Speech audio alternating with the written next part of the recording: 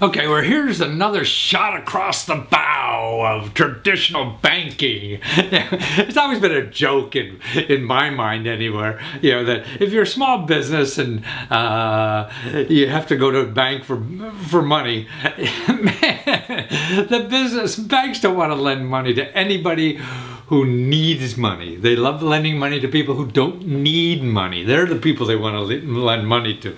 So there's a website that gets around all this kind of stuff, particularly for small business it's aimed at. It's brand new. And see, that's what, what they, what's happening. These, you know, shared economy and other things with the platform, man, you know, just with a website, puts a banker out of business and, and, actually gets money to people who can't get it in traditional banks, but are really good businesses.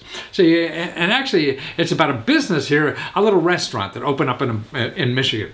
Okay, now they, they, they bootstrap the whole restaurant. Everything in the place is begged, borrowed, and stolen or whatever, you know, to get this thing going. And like most bar, small businesses, you know, they're working close to the belt and they don't have lousy accounting systems and all this kind of stuff that traditional banks want, you know. Well, these people understand that, you know, and it's called zip cap, okay? And, and what they do is lend money to businesses like that businesses that need it, businesses that don't have good financials, businesses that don't own anything, businesses that are running out of the back pocket. You know, these kinds of things. They understand it.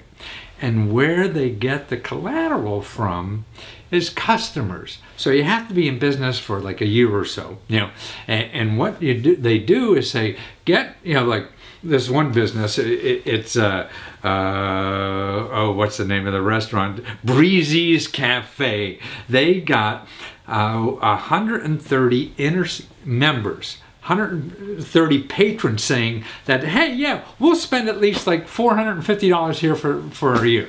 Know, because they just love it. You know, this is your people who love him. So all, all they're doing is promising they're going to pay there. And I don't know, a lot of people, some of the people who promise don't really you know, fall into that. But, uh, you know, I mean, they, they don't follow through, but it looks like there's no, you know, big penalty involved.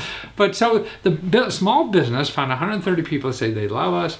We'll, we'll come here. We'll spend at least, you know, four or 500 bucks for the next year, whatever. Okay, just on that kind of information See, this uh, website, zipcap.com, Z-I-P-C-A-P.com, will get you the money you need. Like they borrowed ten thousand dollars, and you know, and they're paying on time now and everything. You know, some of the banks they were turned down by banks in the area, yeah, that, that didn't uh, want to give them money because they had no collateral, they had no equity, they had no you know long history, they never borrowed money before, they didn't have a you know a business plan,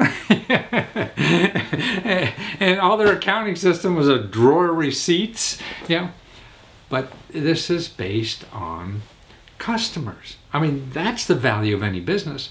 I mean, the business is all about customers. All this other stuff is nonsense to me. If you don't have a customer and it doesn't come back, man, you're out of business. You know? So that's why the whole thing about business is getting customers. So what they're able to do on a website is say, okay, we'll lend money to you. So they do the deal and the paperwork and all this kind of stuff and get that restaurant money.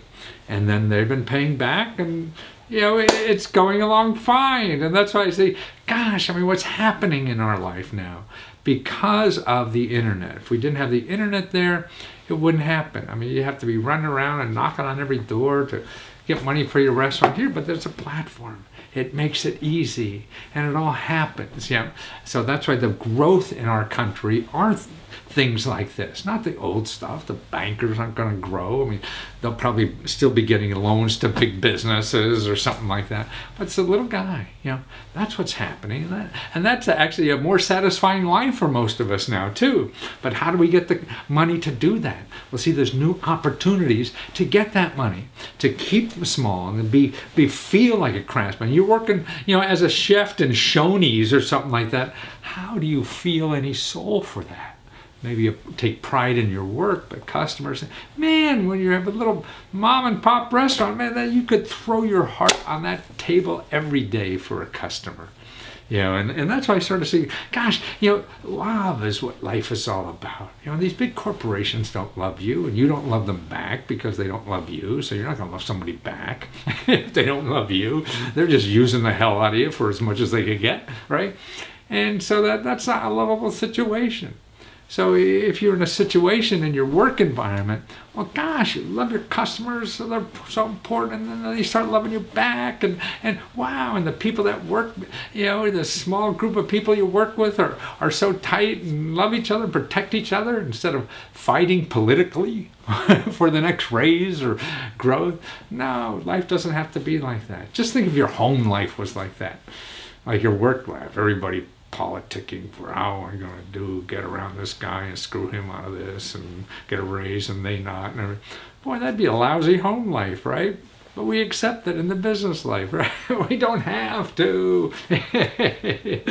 you know, so take a look at ZipCap and the kind of businesses they have. I mean, they have an arts business in there they're, they're helping. They have a bakery business and they're just starting. So find out about it. Maybe this is the kind of money for you, or there may be another one for you. There's a lot of opportunities like this, not only traditional money, there's other local crowdfunding things for business in local areas that's do the same thing, but not really. So there's always big twists on all this, but just keep track all this stuff. A lot of new stuff is happening. That's really neat. You can take advantage of and start growing.